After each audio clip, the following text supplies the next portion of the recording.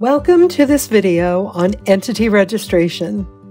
In this video, we'll look at the entity information page and the entities widget in the SAM.gov workspace.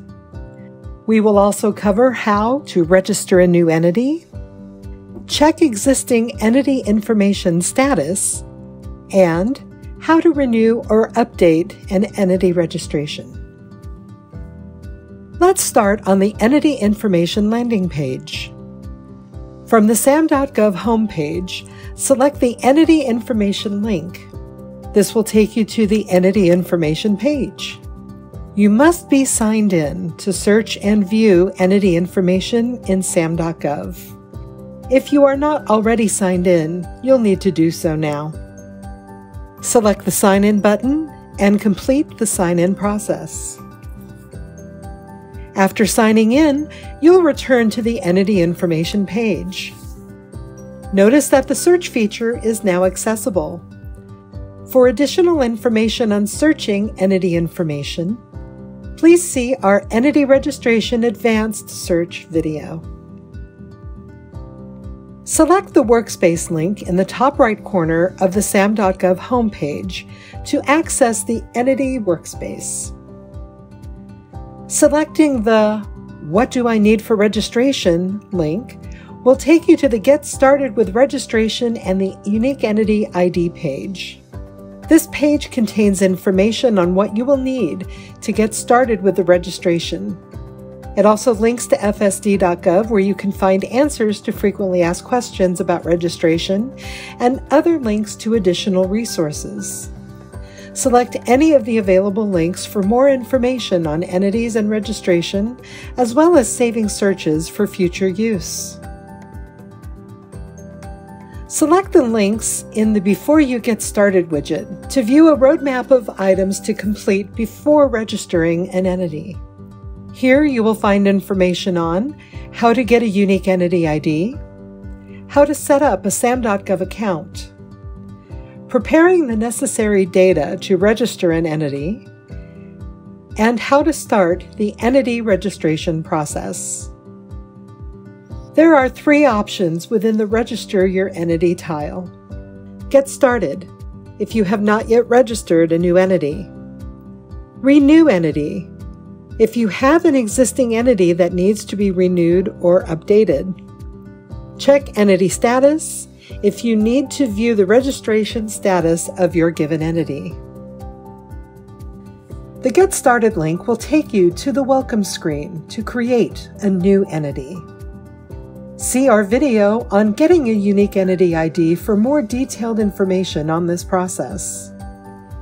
Select Go to Workspace, and then select the Entities link or the Renew Update link to register or update an existing entity.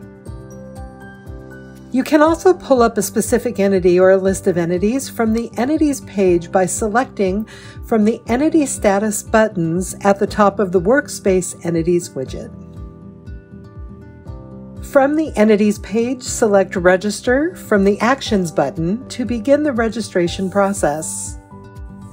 Answer the questions and enter all required information through the overview, purpose of registration,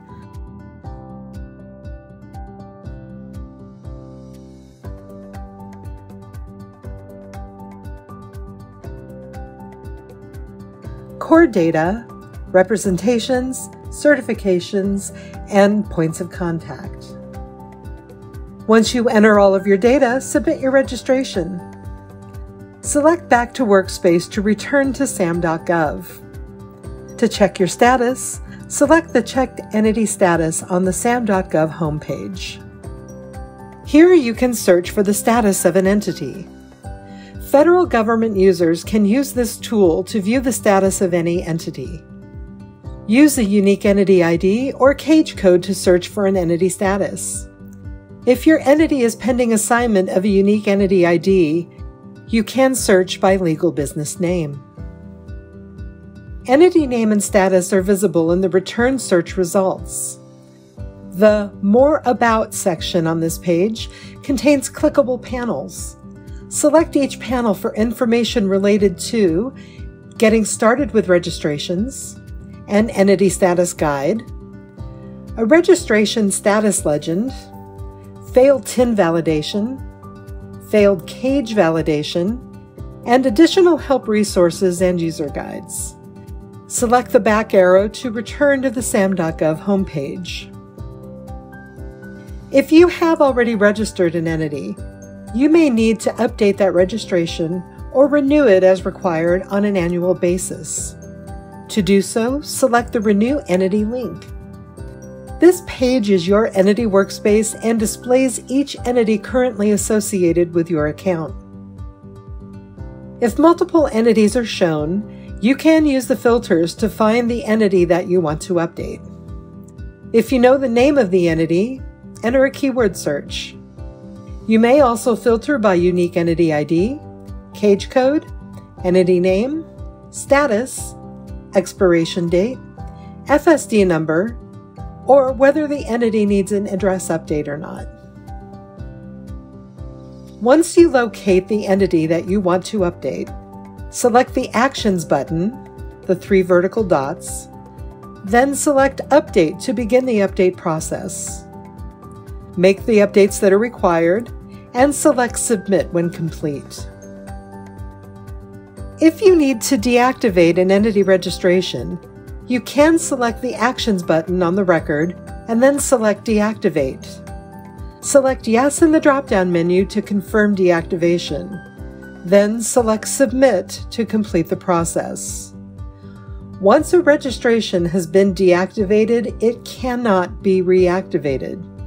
Deactivation deletes the registration data connected to the unique entity ID. The unique entity ID itself remains in SAM.gov as an ID assigned entity in case it needs to be re registered in the future. Earlier, we explored the Entities widget in the SAM.gov workspace. You can also view entity information in active, pending, or submitted states.